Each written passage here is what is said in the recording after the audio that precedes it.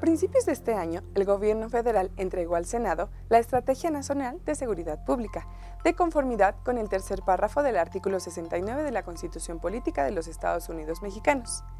Dicha estrategia contempla ocho ejes, entre los que se encuentra la creación de una Guardia Nacional para garantizar con mayor eficacia la seguridad de los ciudadanos. Uno de los ejes que tiene una mayor relevancia en el ámbito de privacidad es el relativo a la distribución de los recursos federales en materia de seguridad,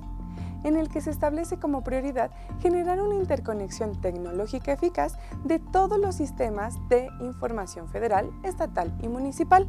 por lo que se fortalecerá la plataforma México y se establecerán protocolos de intercambio de información entre las distintas dependencias.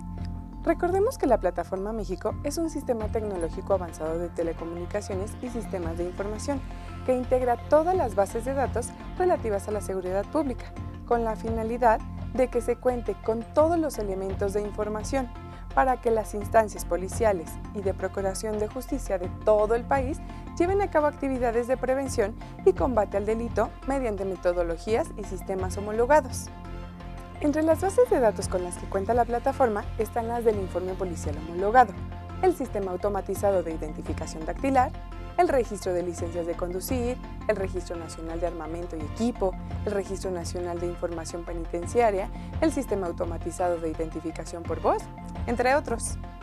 Con ellos, se observa que el Gobierno de México utiliza datos personales entre los que se encuentran los datos biométricos. Sin embargo, muchos pueden pensar que no otorgaron su consentimiento para que el gobierno utilizara sus datos personales y que por lo tanto su uso es ilegal. Pero lo cierto es que en estos casos donde existe un interés público como la seguridad nacional o la seguridad pública, las leyes de protección de datos eximen a los responsables de obtener nuestro consentimiento. Ante esta excepción, para obtener el consentimiento, tampoco seríamos favorecidos si ejercemos nuestros derechos ARCO ya que mediante una ponderación de derechos estaría supeditado el interés público de mantener la seguridad pública. No obstante, ello no nos exime de tomar las medidas técnicas, administrativas y tecnológicas para proteger nuestros datos personales, así como para utilizarlos únicamente para las finalidades referidas, esto es, para fines que tengan como objeto preservar la seguridad de nuestro país, por lo que en caso de que consideremos que el gobierno utiliza nuestra información para fines distintos a los referidos, podremos denunciar esta situación ante el. Recuerda que la protección de tus datos está en tus manos.